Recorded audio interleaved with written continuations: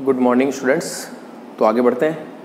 हम जो टॉपिक देख रहे थे था हमारा सेंट्रल फोर्स इसके अंतर्गत हमने जो प्रीवियस लेक्चर्स थे, उसमें हमने सेंट्रल फोर्स की डेफिनेशन उसकी जनरल प्रॉपर्टीज़ और एक इंपॉर्टेंट डेरिवेशन था, वो क्या था कि अगर कोई पार्टिकल केंद्रीय बल के अंतर्गत गति कर रहा है तो उसकी गति का समीकरण क्या होगा, ठीक है ना?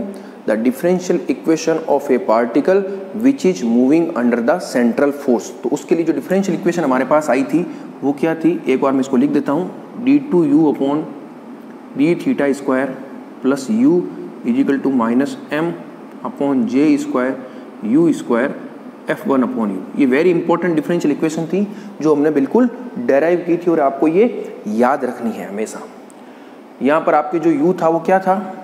यू था, वो था आपके वन अपॉन आर था। अब इस डिफरेंशियल इक्वेशन का मतलब क्या है? इसमें देखिए, अगर आपको केंद्रीय बल दिया हुआ है, यानी एफ़ आर का मान दिया हुआ है सपोज़ कीजिए आपको क्या हो? नोन हो। तो अब आप क्या कर सकते हो? इस इक्वेशन की सहायता से u का मान, u का आप क्या कर सकते हो? फाइंड कर सकते हो। ठीक है ना? फाइंड कर सकते हो। U का मतलब क्या हो जाएगा? U का एक तरह से मतलब हो गया r, क्योंकि u क्या होता है? वन अपॉन आर तो अगर आपको बल क्षेत्र फोर्स फ़ील्ड दिया हुआ हो फोर्स फ़ील्ड दिया हुआ हो तो आप उस कण की स्थिति आर या u प्राप्त कर सकते हो। और ऐसा भी हो सकता है कि कभी कभी आपको आर गिवन हो आर क्या हो? नोन हो, तब आप क्या ज्ञात कर सकते हो? एफ़ आर को फाइंड कर सकते हो। तो क्वेश्चन जो न्यूमेरिकल्स हैं, हम इस इक्वेशन पर बेस्ड न्यूमेरिकल की प्रैक्टिस करेंगे, लेकिन कुछ थ्योरेटिकल पोर्शन जब कवर हो जाएगा, उसके बाद एक लेक्चर से इस प्रकार के न्यूमेरिकल्स के लिए भी हम डिलीवर मैं करूँगा आपको। तो पता क्या रखना आपको? इस इक्वेशन से पता क्या चल रहा है कि दो तरह की चीज़ें हो सकती है। बल क्षेत्र दिया हुआ हो तो आपको आर पता करना पड़ सकता है, और अगर आर दिया हुआ हो तो आपको बल क्षेत्र पता करना पड़ सकता है कि वो बल क्षेत्र किस प्रकार का होगा। और याद रखिए, जब आप बल क्षेत्र ज्ञात करोगे तो वो केवल और केवल किस पर डिपेंड करेगा? केवल और केवल डिपेंड करेगा आप ये कह सकते हो F R depends only on R वो हो सकता है आर की पावर वन की समानुपाती हो जाए आर स्क्वायर के समानुपाती हो जाए R cube R three by two कुछ भी हो, लेकिन वो होगा कि एफ़ आर जो होगा वो हमेशा आप देखना, उसका जो भी एक्सप्रेशन आएगा एफ़ आर का जो भी एक्सप्रेशन आएगा, साथ में आपको आर ज़रूर मिलेगा और केवल वो आर पर ही डिपेंड करता हुआ मिलेगा। तो इस तरह से आपको चीज़ें याद रखनी है। और जब आप यहाँ पर एफ़ आर दिया हुआ और आप आर ज्ञात करोगे तो आर ज्ञात करने का मतलब क्या हो जाएगा कि वो कण किस प्रकार से गति कर रहा है? ठीक है ना? क्योंकि आर के द्वारा तो हम ये पता लगाते हैं कि कण क्या ट्रेस करेगा, अर्थात कण किस प्रकार का क्या कह सकते हो आप सांको परिच्छेद या कॉनिक सेक्शन, किस प्रकार का वो सांको परिच्छेद निर्मित करेगा। ठीक है? तो ये जब न्यूमेरिकल्स आएँगे तब आपको आराम से पता चल जाएगा। आज अब हम क्या कर रहे हैं, हम एक केस कंसीडर कर रहे हैं कि motion of a particle under central force तो हम पढ़ ही रहे थे, उसके अंतर्गत पर्टिकुलर केस है, वो क्या है? कि इनवर्स स्क्वायर लो व्युत्क्रम वर्ग नियम, ये क्या होता है? कि जो आपका बल क्षेत्र है एफ़ आर ये यदि इस प्रकार का हो, वन अपॉन आर स्क्वायर प्रकार का, ये क्या है? व्युत्क्रम वर्ग नियमित तो है। व्युत्क्रम यानी वन अपॉन और वर्ग यानी आर स्क्वायर। जो आपके कुलम फोर्स है, ग्रेविटेशनल फोर्स है, वो सब क्या है? एक प्रकार से व्युत्क्रम वर्ग नियम है।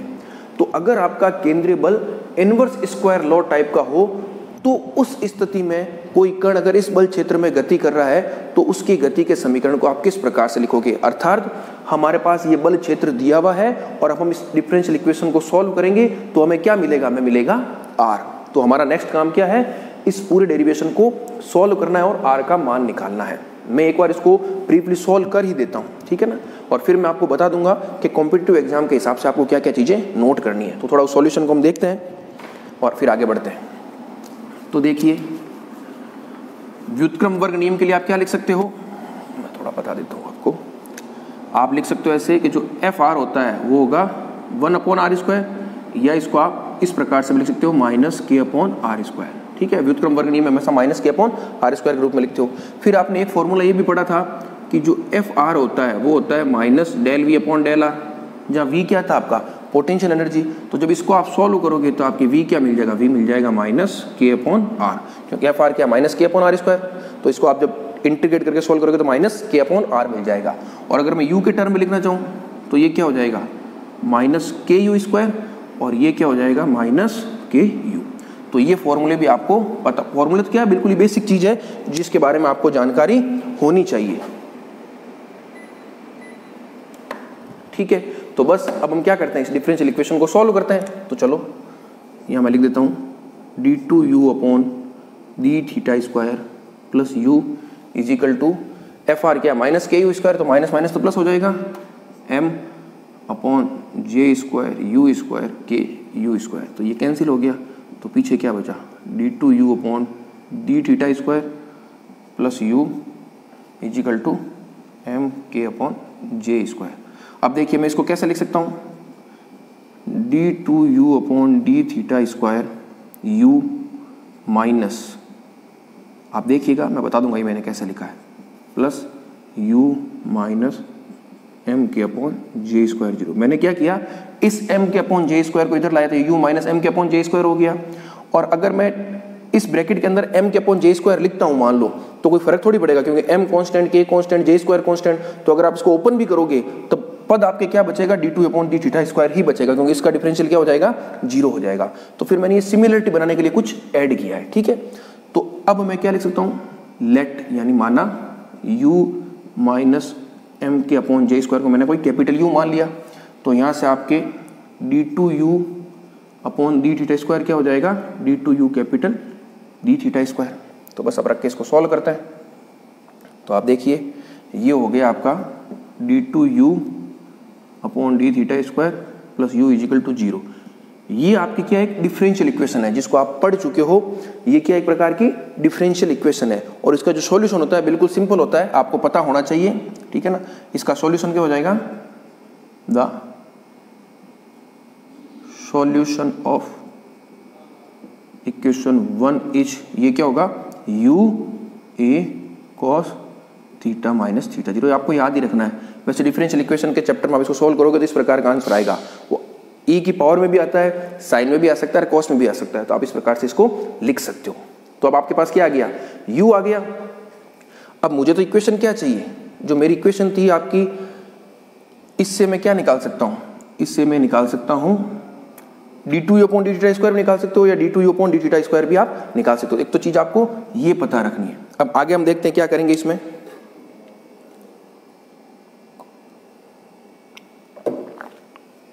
तो देखिए यू आपके ये आ गया, एक आपके ये मान रखा था तो यहाँ से स्मॉल यू क्या आ जाएगा? यहाँ से स्मॉल यू आ जाएगा यू की जगह हो जाएगा a cos theta minus theta zero plus m k upon j square ये इक्वेशन नंबर तीन हो जाएगी, ठीक है?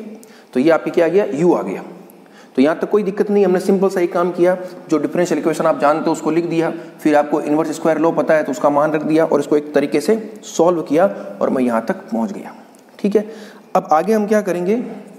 आपको पता है कि किसी कण की जो कुल ऊर्जा होती है, किसी कण की कुल ऊर्जा, उसको हम किस प्रकार से लिखते हैं? उसको देखिए आप। द टोटल एनर्जी वो होती है आपकी E equal to kinetic energy plus potential energy तो काइनेटिक एनर्जी का मान क्या होता है? हाफ़ एम वी स्क्वायर और पोटेंशियल एनर्जी आपको पता है, आपने यहाँ से निकाल रखी है माइनस के यू तो चलो ठीक है, ये लो.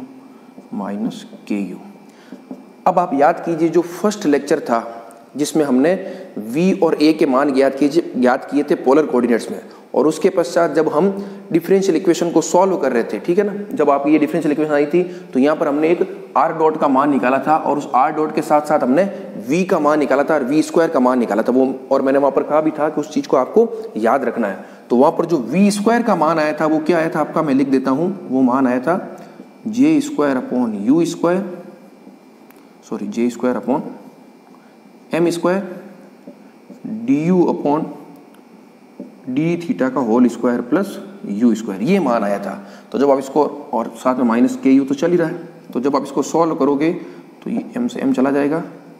J square upon two m d u upon d theta का whole square plus u square minus k u ये तो आपके क्या आ गई? टोटल एनर्जी आ गई। अब आपको कुछ नहीं करना है। अब ये यू आपको पता है स्मॉल यू स्मॉल यू पता है, यहाँ पर सारा क्या स्मॉल यू है? इस स्मॉल यू को आप यहाँ रखोगे तो डी ओपॉन डी डीटा निकालोगे, फिर यहाँ पर यू रखोगे, यहाँ पर यू स्क्वायर सब मान रखोगे और कुछ मैथमेटिकल कैलकुलेशन होगी। उस कैलकुलेशन को मैं यहाँ करने में इंटरेस्टेड नहीं हूँ, क्योंकि हमारी कॉम्पिटेटिव क्लास है तो डेरिवेशन को मैं बहुत ज़्यादा डिटेल में नहीं करना है। कुछ बेसिक चीज़ थी जो मैंने बता दी, आप आराम से इसको घर पर सॉल्व कीजिएगा। ठीक है ना? जब इस लेक्चर सुने, इसको आगे सॉल्व कीजिएगा। करना क्या है, मैं यहाँ लिख देता हूँ। Using equation three in equation four यानी समीकरण तीन का समीकरण चार में आप उपयोग करोगे और पूरी कैलकुलेशन करोगे तो आपको मिलेगा क्या? यहाँ पर देखो ए क्या है? अननोन है। तो आपको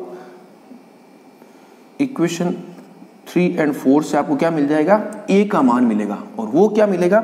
उसको आप नोट कर लीजिए, वो मिलेगा आपको m k upon j square under root one plus two e j square upon m k square ये मान आपको पता करना है।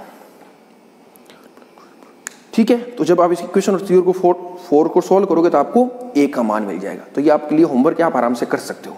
तो बस तो आगे बढ़ते हम। अब आपको पास ए मिल गया तो जैसे आप ए रखोगे तो आपको क्या मिल जाएगा? यू मिल जाएगा। और हमारा मेन टारगेट क्या है? आपको पता है एफ़ दे रखा है तो आपको अल्टीमेटली निकालना क्या है? यू या आर निकालना है। तो यू मिल गया। बस इसको सॉल्व कर लेते हैं। ठीक है? तो यू क्या मिल जाएगा आपको? यू हो गया आपका। U इजिकल टू ए का मान है। M k upon j square one plus two e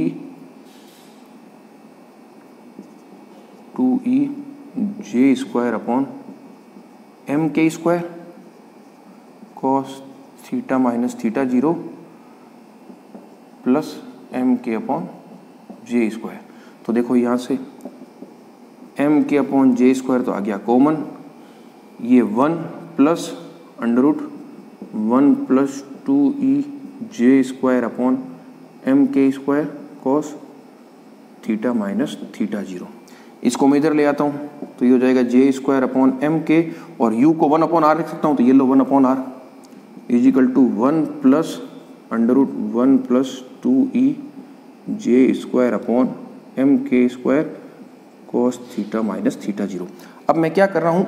इसको इस प्रकार से लिख रहा हूँ। L upon r equal to one plus e cos theta minus theta zero ठीक है? जहाँ पर, जहाँ पर आपका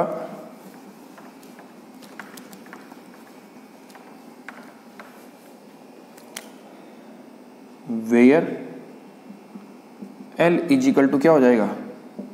J square upon m k and e equal to हो जाएगा under root of one plus two e j square upon m k square ये आपको पूरा याद रखना है। कोई एल कांस्टेंट है कोई? जिसका मान जे स्क्वायर अपॉन एम के हो गया और ई e भी क्या कोई कांस्टेंट जिसका मान क्या है? One plus two e j square upon m k square और इस ई e को हम क्या कहते हैं? ये भी मैं सब बताऊँगा। इसेंट्रीसिटी या इसको आप कह सकते हो उत्केंद्रता। क्या कह सकते हो? उत्केंद्रता। और ये क्या आ गया आपका आर का मान आ गया एल अपॉन आर यानी आर का मान निकल रहा है। जब आप इसको सोल्व करोगे तो आपको क्या मिलेगा? एक तरह से इस डिफरेंस इक्वेशन को जब आपने सोल्व किया तो आपको आर का मान मिल गया।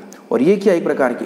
कोई भी क्या कह सकते हो आप? कॉनिक सेक्शन होता है सांकव परिचित होता है, उसकी इक्वेशन है। This is the general equation of a conic section whose eccentricity is e अब इस चीज़ को आप समझिए फ़र्स्ट ईयर में आपके टू डायमेंशनल जो टू डी ज्योमेट्री है, उसमें एक चैप्टर है आपका ट्रेसिंग ऑफ़ कर्व ठीक है ना? कॉनिक सेक्शन तो वहाँ पर आपको इस प्रकार के इक्वेशंस मिलेगी।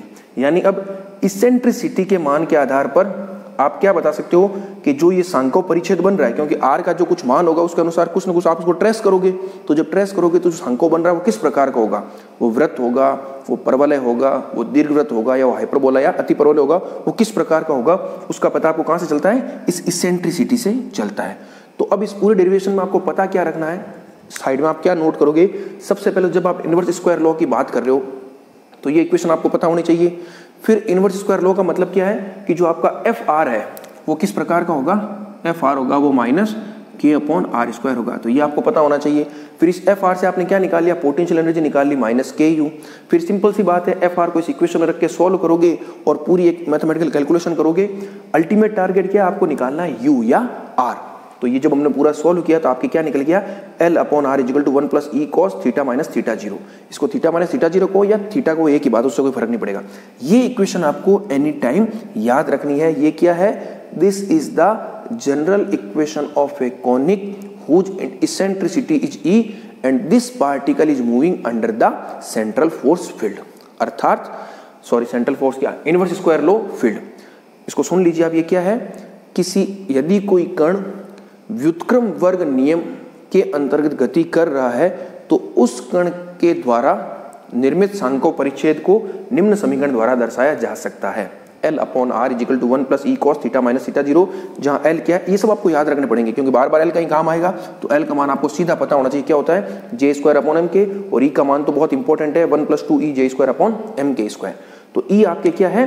इसेंट्रिसिटी तो इस चीज़ को आप साइड में नोट कर लीजिएगा डेरिवेशन को एक बार हाथ फटाफट हाथ से। सॉल्व करके इन इंपॉर्टेंट चीज़ों को नोट कर लीजिए। अब ये इसेंट्रिसिटी बहुत इंपॉर्टेंट है।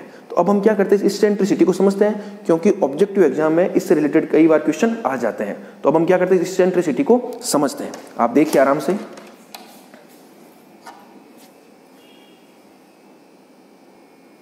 तो देखिए इसेंट्रिसिटी आपको क्या दर्शा रही है उसको मैंने यहाँ नोट किया है। थोड़ा उसको आप समझिए और फिर इसको नोट कीजिए। वेरी इंपॉर्टेंट है।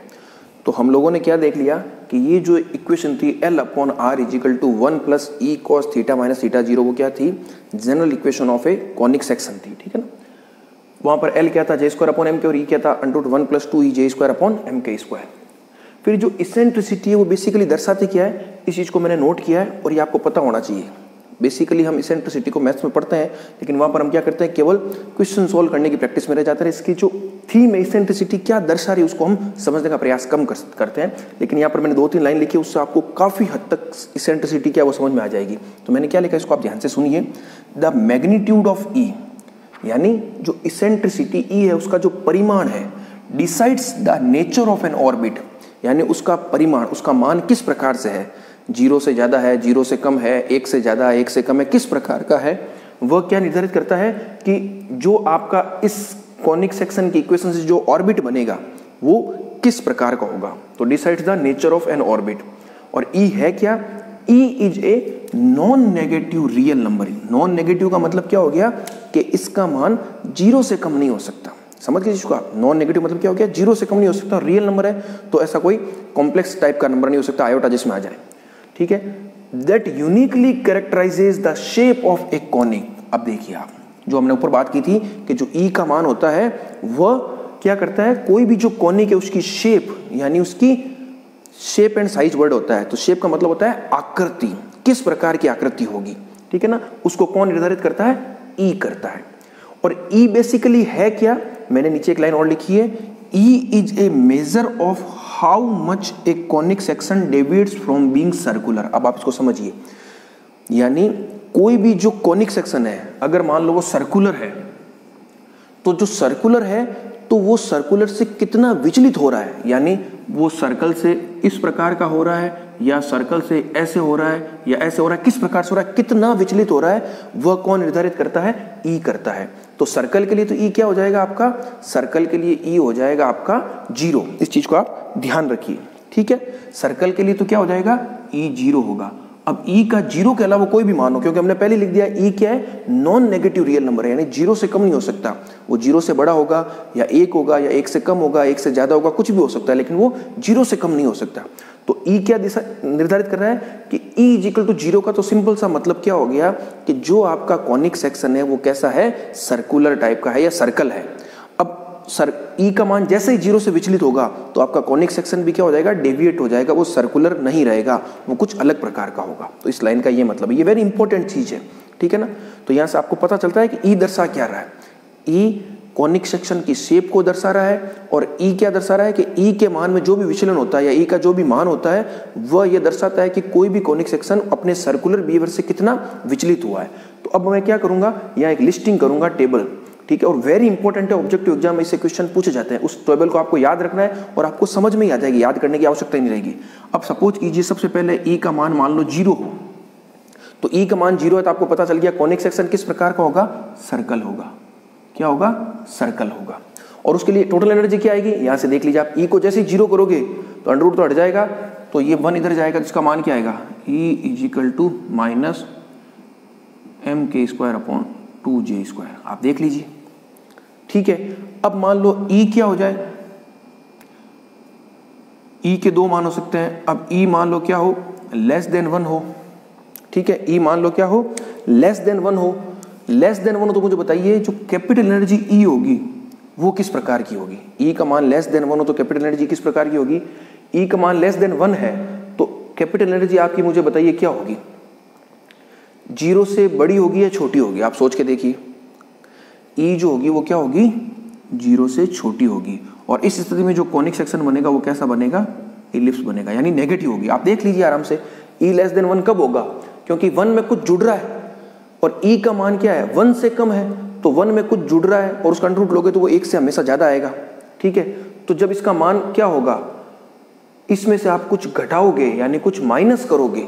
माइनस करोगे तभी क्या होगा? ये मान एक से छोटा होगा तभी ई e का मान आपको क्या मिलेगा? लेस देन वन मिलेगा। तो अब क्या होगा वो हमें नहीं पता। वो हम जब इलिप्स पढ़ेंगे तब देख लेंगे, लेकिन यहाँ से निष्कर्ष क्या निकल रहा है कि इलिप्स के लिए आपके ईज लेस देन ज़ीरो होगी। ठीक है? नेगेटिव होगी। नेगेटिव होगी तभी तो ये मान भाई मुझे इस ईज लेस देन वन के लिए क्या चाहिए? मुझे चाहिए इस एक में से कुछ ना कुछ घटना चाहिए। तभी तो उसका अंडरूट एक से कम आएगा। और घटने के लिए क्या है? टू तो पॉजिटिव है j positive m positive k positive तब ये माइनस जो साइन है, वो प्लस साइन है, वो माइनस में कैसे कन्वर्ट होगा? वो तभी कन्वर्ट होगा जब आपका ई e क्या हो? नेगेटिव हो। और ई e नेगेटिव होने का मतलब क्या हो गया? लेस देन ज़ीरो तो ई लेस देन ज़ीरो उस स्थिति में आपके कॉनिक सेक्शन कैसा हो जाएगा? इलिप्स अब अगली एक स्थिति आती है कि e equal to one e equal to one कब होगा? ई इजिकल टू वन तब होगा जब ई e का मान क्या हो? ज़ीरो यानी एनर्जी ज़ीरो हो जाए। इस स्थिति में जो कॉनिक सेक्शन होता है, वो होता है आपका पैराबोला परवल है। और जब e is greater than one हो तो निश्चित है एनर्जी भी क्या होगी? पॉजिटिव होगी। इस स्थिति में जो कॉनिक सेक्शन होता है, वो कैसा होता है आपका? हाइपरबोला तो ये सारणी आपको याद रखनी है, इस तरह से आपको पूछा जाता है। अब यहाँ से एक चीज़ और निकल रही है। आप देखिए, जो सर्कल और एलिप्स है ये दोनों एक प्रकार की क्या है? क्लोज ऑर्बिट है। ठीक है, मैं इसको यहाँ एक बार लिख देता हूँ। ये भी आपको समझना चाहिए। जो आपका सर्कल और एलिप्स है,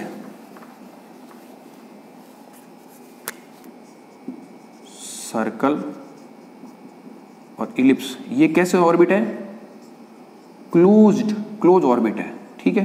यानी बंद एक प्रकार के सांको परिचित है, क्योंकि देखो, ये भी बंद है और ये भी बंद है। और आपको पता कोई भी बंद पथ में गति कर रहा है तो ऊर्जा हमेशा क्या होती है? ऋणात्मक होती है, ठीक है ना? तो देख लीजिए, आपको अपना अपना आप क्या मिल रहा है? E is less than zero मिल रही है। और ये दोनों क्या है? पैराबोला और हाइपरबोला वो कैसे हैं? ओपन ऑर्बिट है। तो इसकी एनर्जी हमेशा क्या होगी? उसकी ऊर्जा हमेशा ज़ीरो से ज़्यादा होगी, वो बंद नहीं पाएँगे अट्रैक्टिव नहीं होगी।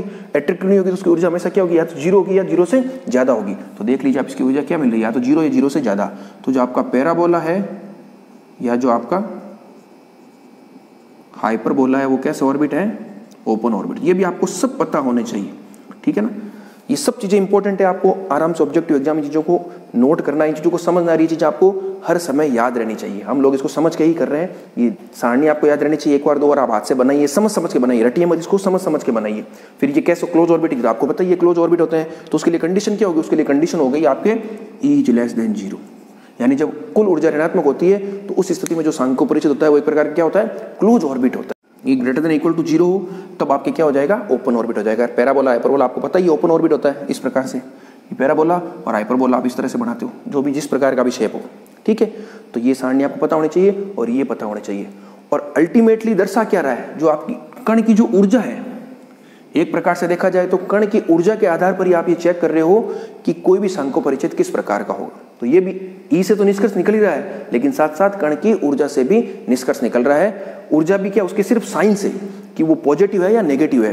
तो आप एक लाइन यहाँ, ये भी नोट कर सकते हो। Thus the sign of total energy indicates the shape of an orbit तो ये इंपॉर्टेंट चीज़ थी। तो ये जो हम टॉपिक लेके चल रहे थे इनवर्स स्क्वायर लो ये सारी चीज़ें किसके लिए आ रही है? इनवर्स स्क्वायर लो के लिए हम इसको सॉल्व करके चल रहे थे, क्योंकि ये इक्वेशन आई किससे थी? ये इक्वेशन आई थी इनवर्स स्क्वायर लो से। तो ये पूरा एक इंपॉर्टेंट टॉपिक था। अभी आप सिर्फ़ इस थ्योरी को समझिए। जैसे ही एक या दो लेक्चर और होंगे थ्योरी कंप्लीट हो जाएगी तो हर लेक्चर से जुड़े हुए न्यूमेरिकल का मैं पूरा आपको एक प्रैक्टिस सेट भी अवेलेबल कराऊँगा और हम उस न्यूमेरिकल को यहाँ पर बोर्ड पर भी करेंगे, तब ये पूरा टॉपिक आपके तैयार हो जाएगा। और मोस्ट प्रोबेबली एक दो, एक क्वेश्चन तो 100 परसेंट इसमें से आपके आईआईटी जेम या कोई भी आपका एमएस एंट्रेंस एग्ज़ाम उसमें आता ही आता है और आप बिल्कुल आराम से उस क्वेश्चन को सॉल्व कर सकते हो। जब ये टॉपिक कंप्लीट होगा इससे रिलेटेड हम जब न्यूमेरिकल कंप्लीट कर लेंगे तो प्रीवियस ईयर्स के एग्ज़ाम में जो आए हुए क्वेश्चन है, उनको भी हम डिस्कस करेंगे, तब आपको पता चलेगा कि आप एकदम राइट ट्रैक पर चल रहे हो। बस आप इन चीज़ों को समझते हुए आगे बढ़िए और शॉर्ट पॉइंट में और अपनी भाषा में इनको नोट करते रहिए। ठीक है ना? क्योंकि ये जो लेक्चर सीरीज़ है, वो उस तरह से नहीं एकेडमिक आपका बीएससी एग्ज़ाम के जैसे एक एक चीज़ को हम बिल्कुल नोट करें। हालाँकि मैं चीज़ों को बता रहा हूँ, लेकिन फिर कुछ चीज़ें स्किप भी करनी पड़ रही है, ठीक है ना? ताकि आप केवल इंपॉर्टेंट चीज़ों पर फोकस कर सको, क्योंकि हमें लिमिटेड टाइम में मैक्सिमम वर्क करना है। तो ये यहाँ तक कंप्लीट हो गया। अब हम नेक्स्ट लेक्चर में क्या करेंगे? अगला टॉपिक लेंगे। वो एक तरह से लास्ट टॉपिक होगा। कैपलर के ग्रहीय गति के नियम, ठीक है ना? Kepler's law of planetary motion उसको हम नेक्स्ट लेक्चर में देखेंगे। Thank you